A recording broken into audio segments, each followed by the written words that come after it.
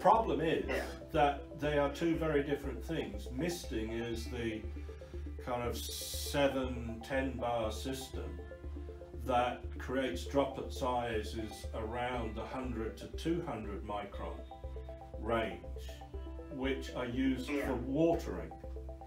Um, the fog system does not water plants. All it's doing is creating in humidity, uh, uh, trying to create a humid environment around the plant leaf to control its evapotranspiration. In horticulture, it's where it's important. It means two very different things. We don't supply misting systems for horticulture, we supply fog for horticulture.